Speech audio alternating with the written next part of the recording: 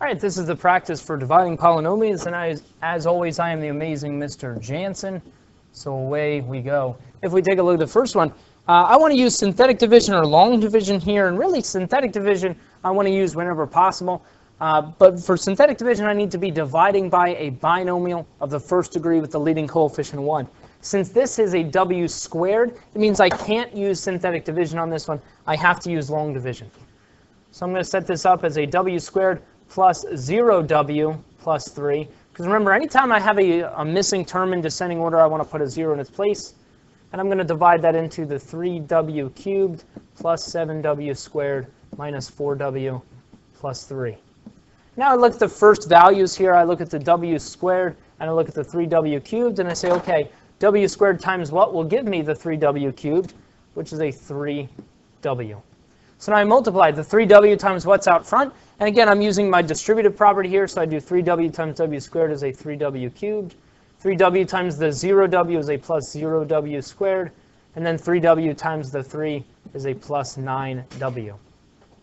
And now what I want to do is I want to subtract this whole thing. And to make it easier, I'm going to change that to adding the opposite. So when I do that, I get a 0, I get a 7w squared, and I get a minus 13w. And then I bring down the next term, which is the plus 3. And I start the process over again. w times what will give me this guy down here, the, the 7w squared. So it's got to be a plus 7. So now I multiply. 7 times the w squared is a 7w squared plus 0 uh, w plus 21. And now I subtract this whole thing. When I subtract, I'm going to change that to adding the opposite. So I end up with a negative 13w and a minus 18. And now from here, w squared can't divide into a negative 13w. So this is my remainder, the plus negative 13w minus 18, all over the thing I was dividing by, which was the w squared plus 3. And that's it. If I look at the, the, the next one, uh, this time I'm dividing by the uh, y squared plus 2y minus 1. And I want to divide that into this uh, 6y to the fourth. And uh, I'm missing a lot of terms here in descending order. I've got the y to the fourth, but now I'm missing the y to the third. I'm missing the y to the second, and I'm missing the y to the first. So I need to put zeros in for each of those missing terms to make this thing line up properly. But now it's the same process. y squared times what will give me a 6y to the fourth? It's going to be a 6y squared. And now I multiply what's up top here by what's out front.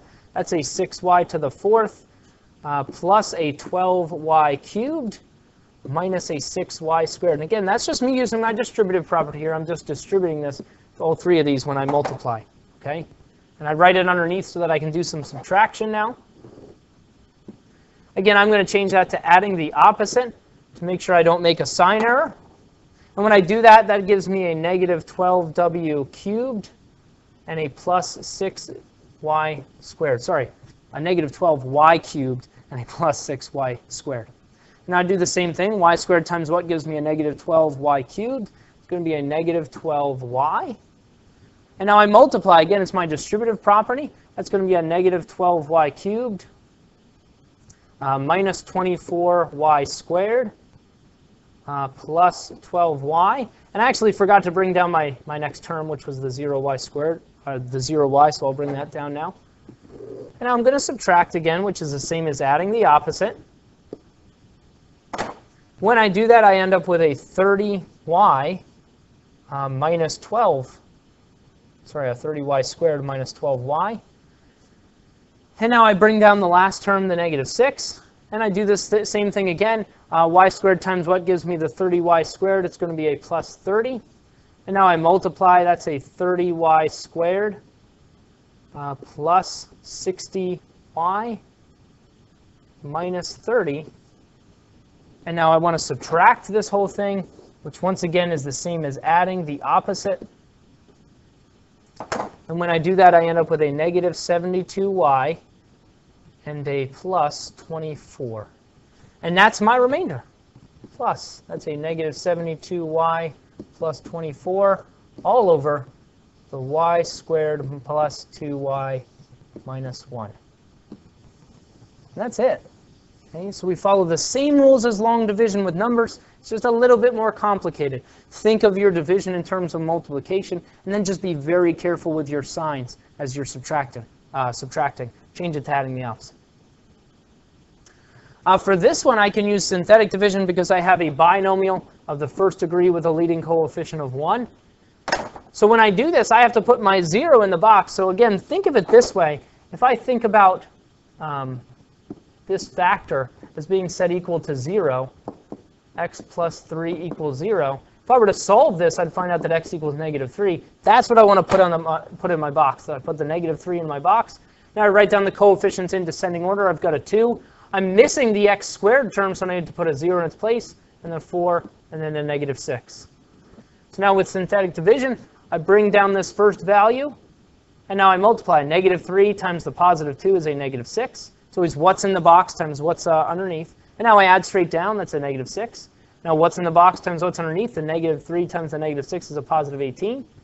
And then I add straight down, that's a 22. And now I multiply what's in the box, the negative 3 times the 22 is a negative, uh, 66. And then I add straight down, that's a negative 72. And so now with synthetic division, I just have to, to recall what this thing is going to start with. Since this was an x to the third, if I divide an x to the third by an x to the first, it would give me an x to the second, which means my solution here is going to start with an x to the second. In other words, this is a 2x squared minus 6x plus 22 with a remainder 72, which I put over the thing I was dividing by. And notice I just wrote that uh, minus 72. I just put the minus sign right here to make it a little bit easier, a little bit cleaner. That's it. I would also accept if you had a plus here and a negative up here. That would also be fine. Uh, number four. Number four is a, little bit of a tricky one. Um, and I'm going to do this uh, in two ways here. Um, I'm going to do this one using synthetic division. And then number six, maybe I'll do uh, using long division. Uh, so number four, if I want to do synthetic division here, what I have to do is I have to divide each of these by 3. I have to divide this one by 3 and this one by 3. And the reason for that, again, is because if we think of this thing as a fraction, the fraction would look this way. I can change the denominator to suit my purposes. I do that all the time when I'm trying to get common denominators. Essentially what I'm doing is I'm multiplying by one-third over one-third. See, when I multiply that numerator by one-third, it gives me this. It gives me a 2t cubed plus 5 thirds t squared minus 2 thirds t plus 1 third. And when I do the same thing to the denominator, it leaves me with a t plus 1 third. All right? And see, now I can use synthetic division because now I have a leading coefficient of 1 right here, which I didn't have before. Okay, so that's the trick that we can use in order to be able to, uh, to utilize synthetic division. And what happens when we do that, I'm going to use a negative one-third in my box because that's what the solution would be if I set t plus one-third equal to 0. Now I write down my coefficients, the 2, uh, the 5 thirds, the negative 2 thirds, and the positive 1 third. Now I do the same thing that I would normally do. I'm going to bring down that first term. So I bring down the 2. Now I multiply. Negative 1 third times 2 is a negative 2 thirds.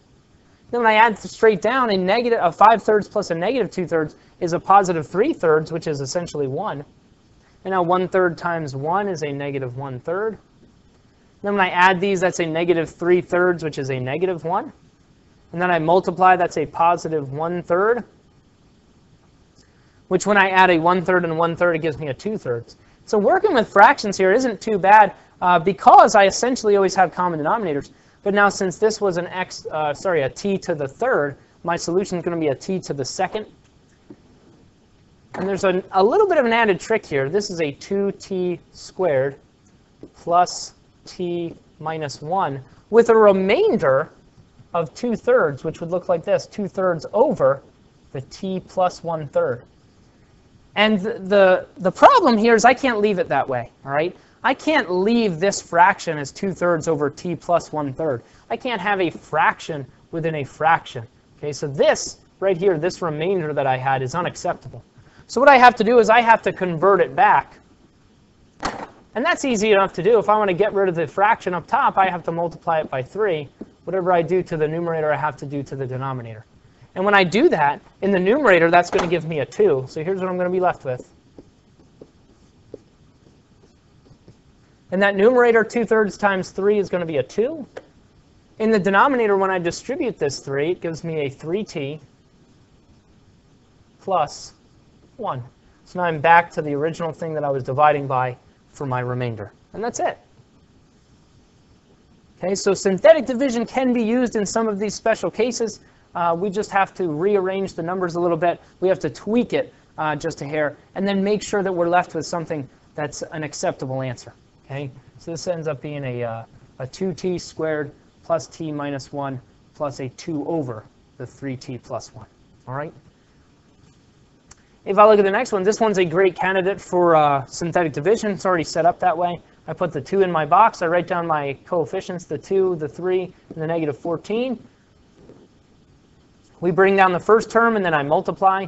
I add straight down. I multiply. I add straight down. The original problem started with a, an x to the second, so this is an x to the first, so it's 2x plus 7 with a remainder of 0. And if I have a remainder of 0, I don't need to bother writing it. Okay? Uh, with this one, I can do the same trick that I did in problem number four and the one above it. Uh, but this one, I'll do, uh, I'll do long division this time to show you that it works either way. So for this one, I'm going to do long division. I've got the 6y squared minus 5y minus 15. So now 2y times what gives me the 6y squared is a 3y. And now I multiply, that's a 6y squared plus 9y. And now I'm going to subtract, which is the same as adding the opposite. That gives me a negative 14y. I bring down the minus 15. And now 2y times a negative 7y will give me the negative 14. That gives me a negative uh, 14y minus 21. All right, I put a y up there. This one should just be a 7. And now I want to subtract this, which is the same as adding the opposite, which leaves me with a positive 6. So that's a plus 6 over the 2y plus 3. All right? And that one wasn't too bad by long division. But again, if you're good at synthetic division, that would be a little bit quicker for this one. Okay? These, want to state whether or not this is a zero the function. So I just test it using synthetic division. I take the 2. I've got a 3, a negative 7, a negative 4, and a positive 12. I bring down the first term. I multiply. I add straight down. And then I multiply. I add straight down and then I multiply and I add straight down. Again, it's always what's in the box times what's underneath the line, and I write it underneath the next coefficient that I was at, and then I start the process over again. And really, the question is asking is this a zero? Remember, the remainder gives me what I would get when I plug that value in. So the value I would get here is a zero. So the answer to this question is yes. x equals 2 is a zero to the function. When I plug the 2 in, I'll get a zero out. All right? Uh, same thing with the next one. I use the negative 3, so I've got a 1, a 0 because I'm missing the x cubed, the negative 8, the negative 1, and the 12. Now synthetic division, I bring this guy down, I multiply negative 3 times 1 is a negative 3, I add straight down. I multiply, that's a positive 9. I add straight down, that's a positive 1. I multiply, I add straight down. I multiply, that gives me a 12. I add straight down, that's a 24. And so when I plug this in, if I plug a negative 3 in for x, I'm going to get a positive 24 out for y. So is this a 0? The answer is no. It's not a 0. It gives me a 24 when I plug it in. Okay? Uh, for this one, if I want to evaluate it at 3, I could plug 3 in for each of the x values, and that would be fine. But I can do it using synthetic division. I bring down the 1, I multiply, I add straight down, I multiply, I add straight down, I multiply, I add straight down, that gives me a negative 28. So when I plug a 3 in, when I do f of 3, if I plug a 3 in for x, I'm going to get a negative 28 out for y. That's my factor remainder theorem. The remainder is us evaluating the function at x equals 3 in this case. Okay? And then the last one, uh, I want to evaluate using synthetic division, so I put the 4 in here. I've got a 1, a 4, a negative 17, and a negative 60. I bring down that first coefficient. I multiply, I add straight down. I multiply, I add straight down. I multiply, I add straight down. So when I plug that 4 in, it gives me a 0 out, my factor remainder theorem. And that's it.